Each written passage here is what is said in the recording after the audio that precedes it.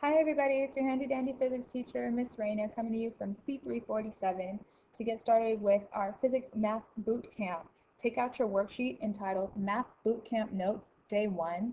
We're going to begin on the side that reads, number one, order of operations.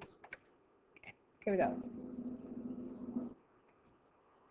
So, can we arrive at different answers if we evaluate a problem in a different order?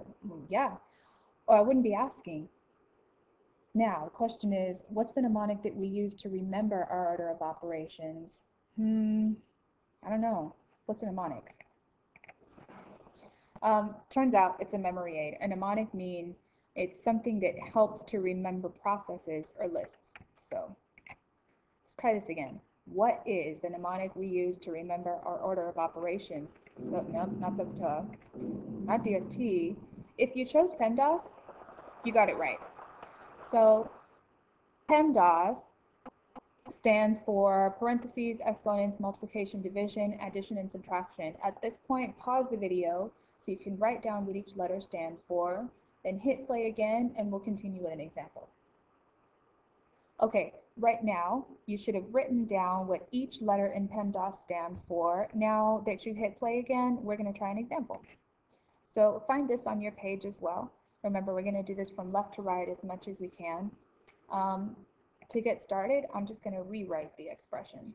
So bear with me, this is a little bit messy because I'm getting used to the smartboard. Start by just rewriting the expression. Where do I begin? How do I know? I'm going to start with the key in PEMDAS. Stands for evaluate the parentheses. So this expression equals 2 plus 6. Inside the parentheses, I got 3 plus 1, also known as 4.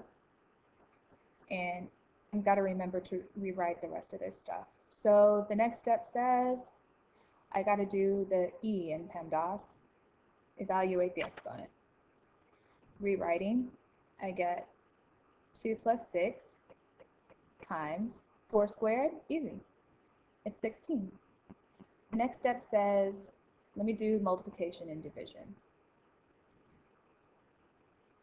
So this is going to equal 2 plus 6 times 16. There's the multiplication.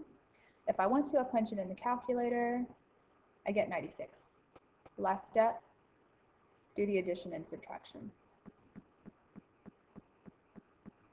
That expression equals 2 plus 96, easy. I get 98. My PEMDAS chart is up and down. On your paper, it's sideways. It's fine. It's the same thing either way. Let's move on to the next example. Okay, how many different answers can we possibly get for 70 minus 2 times the quantity of 5 plus 2?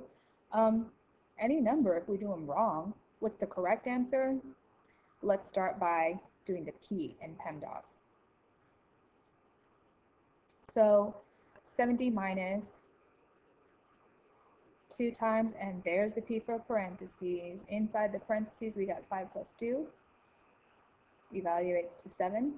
Let's keep going. We don't have any exponents, so we don't have to worry about that. I do see multiplication, though, so we do 70 minus 2 times 7.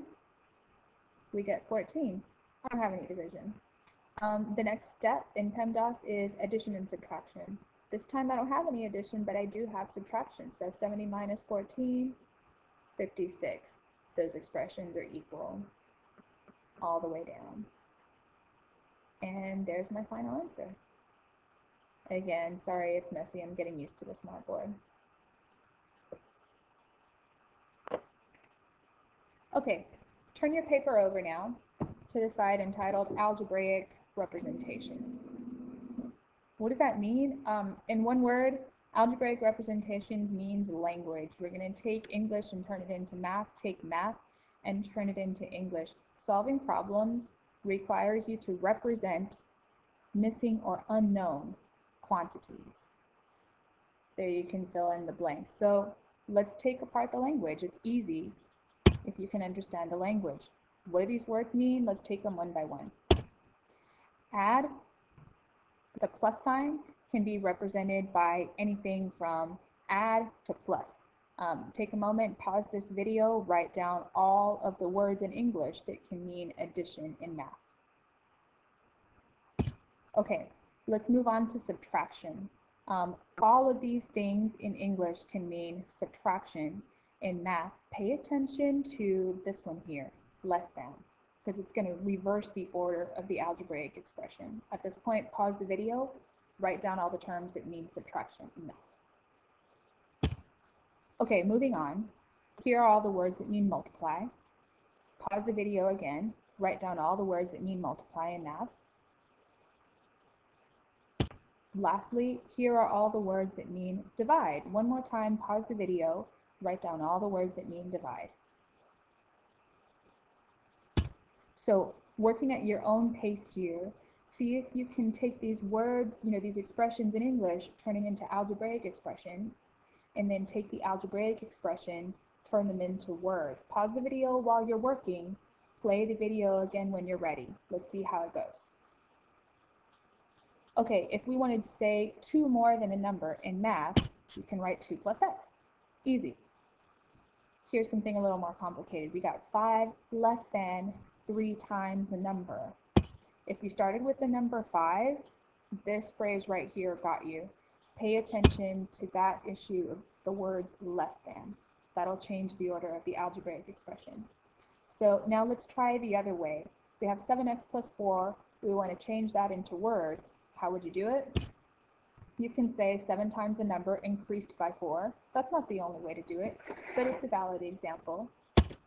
Um, again, there are other valid examples, but you can say 6 decreased by 5 times the number to denote this algebraic expression right here, 6 minus 5x.